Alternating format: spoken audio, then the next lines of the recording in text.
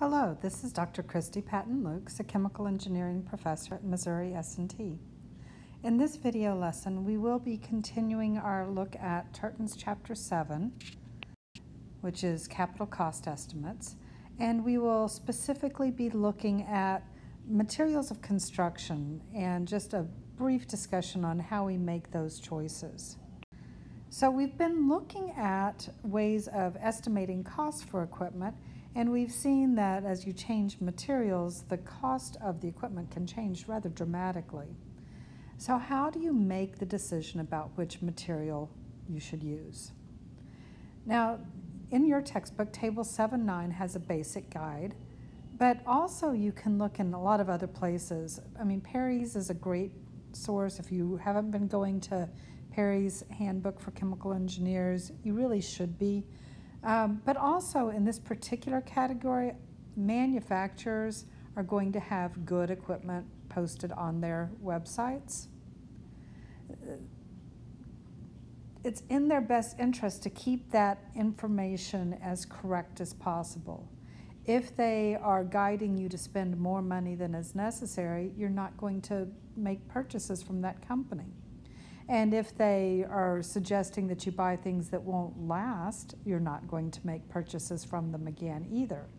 So therefore, it's in their best interest to have the correct information on the equipment and materials for your applications. Now, the table in your book is much like any other table I've seen.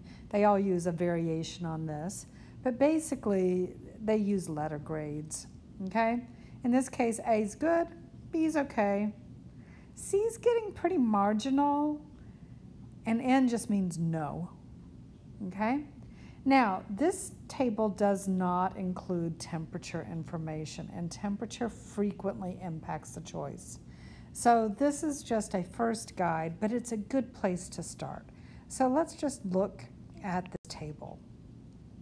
So this is page one of this table. And what you're seeing is a list of chemical compounds, and it's not a very complete list, which is why you need these other resources. But for a particular chemical, so say acetaldehyde up here at the top, it says N under carbon steel. So don't do carbon steel. But you get an A rating with 316 stainless, Hastelloy C, titanium, TFE, and graphite. You get a C rating with brass, and you don't have entries for some of these others. Okay? Now, if there's not an entry, it doesn't mean, oh, good, it's just fine, I'll use that. That means that they haven't evaluated it, so you shouldn't trust that it would be acceptable. Okay? Uh, do a little bit more research if you're wanting to use, say, 304 stainless. Now, in general, this table is set up so that these on this side are fairly cheap and we just get more and more dollar signs as we move across the table. Okay, so that's going to be sort of your general guideline. So you're going to kind of, when possible, choose something as far to the left as is reasonable and go for an A rating if you can. B's aren't bad. I generally don't do C's unless I know that it's going to be just like occasional use, in which case, yeah, all right, I can make sure to clean it and refurbish it every time in between. So I have some flexibility there. Now you're going to notice that some of these are going to be a little bit tougher to find, okay? Uh, so for instance, the HCl here, and that was not the line I wanted. Let me, here. Here we go. Okay, so dilute hydrochloric acid, gets a no on almost all of these. You finally, at copper and Monel, start seeing C ratings.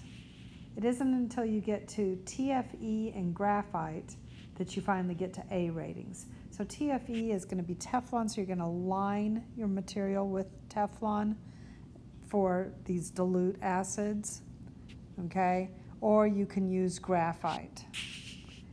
And you're going to see several of these that are going to be kind of like, whoa, there's not many choices, okay? Um, there is another page to this table. Let me just quickly show you that one. So it comes on down to, you know, many other things.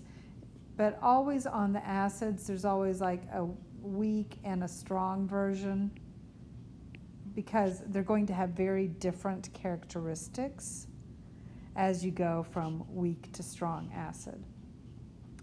Um, when you, oh, one other thing I need to mention. Okay, so we have two types of stainless steel here. When you go looking at the uh, appendix, they are not going to identify them separately. Okay, if you call a vendor, they're going to price them separately, but the book is not going to price them separately. Um, so these are just going to be stainless steels. These are going to be nickel based metals, okay? Uh,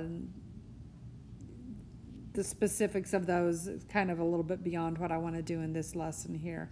But anyway, so some of these, when you look them up and start doing the pricing, you're going to find that it doesn't exactly match this table.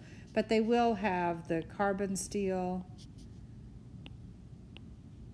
This whole group is going to be stainless steel, aluminum, copper, brass. Those are normal.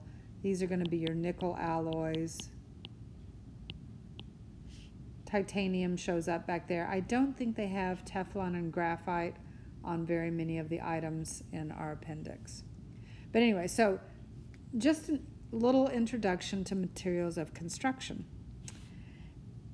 Our next lessons will be coming out of chapter 8. We will be looking at uh, some of the other costs, the operating costs for our plants once we've built them. Thank you very much for your time.